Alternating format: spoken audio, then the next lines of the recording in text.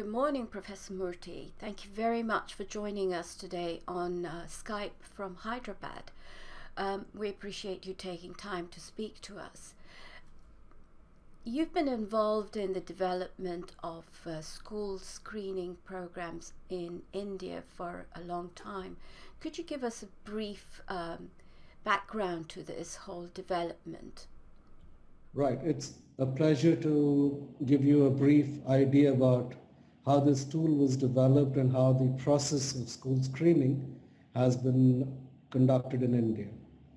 India actually had a school health program right from the 1960s, but then the school health program did not look at looking at the vision of school children. It was more of a health examination.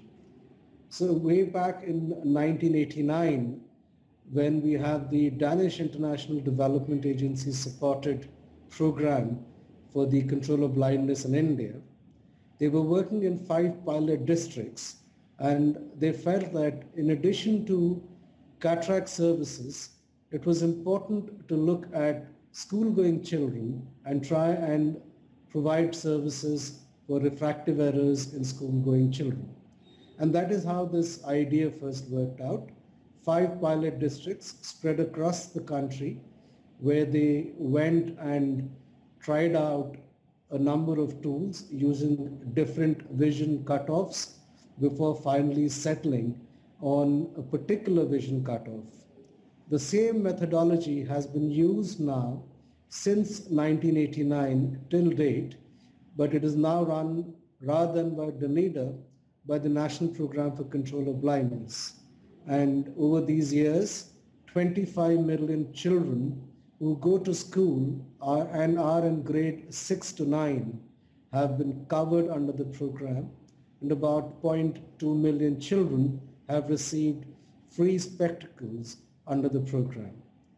It is a uniform methodology adopted right across the program, but some states do better than the others, but otherwise the methodology is exactly the same.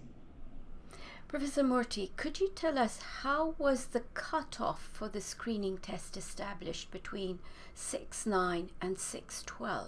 Yeah, so there were a, a, couple of issues which were considered when one, the cutoff tool was identified and two, specific age groups were identified. So this program looked at children aged 10 to 14 years who were in school because nearly 17% of the Indian population is aged 10 to 14 years and about 70 to 75% of them are enrolled in secondary school which covers grades 6 to 9. So that was the reason why these school children were taken up, the operational feasibility, because school teachers were used for the screening exercise and therefore they just had a one-day training in which they had to go and pick up. When they had a one-day training, it was important that they were able to pick up as many children as possible amongst those who are being screened. So an experiment was done in two of the districts which were being covered in 1989 by the DANIDA program. And they tried out two different vision acuity charts. One, they used a 6-9 optotype and another, they used a 6-12 optotype. They did a validation both of using teachers at both the uh, cutoff points. So that was one validation. The second validation was of the optotype. So when they looked at the validation of teachers versus an optometrist, the sensitivity of the teacher to pick up individuals or school children was about 86% and the specificity was 98%. When they looked at the vision card and they looked at the 6 by 9 optotype, it was about 71% sensitivity and 94% specificity.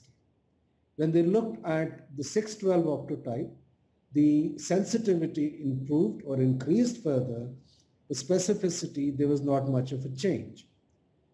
When they looked at the teachers and spoke to the teachers, the teachers were very unhappy when they picked up only say one child per school when he used a 6 by 12 optotype compared to about 5 to 6 children per school when he used a 6 by 9 NEI optotype. So to look at the operation of a program which would involve the teachers and keep their interest going, so there was this toss-up between using 612 or 69, looking at the high sensitivity and specificity rates with 69 NEI, it was decided to use the 69 optotype in the national program in India. Right. Uh, I'd also like to share the tool that is, that is used for the school screening in India. This is a laminated card, a, a cardboard cutout. It has an E in front, which is in the vernacular language. And if you reverse this card, you will find that there are four optotypes which are equivalent to the 6 by 9 optotype.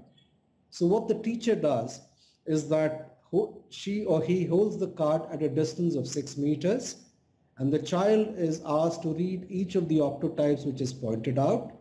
If the child can read 3 out of the 4, then the child is passed on the screening test.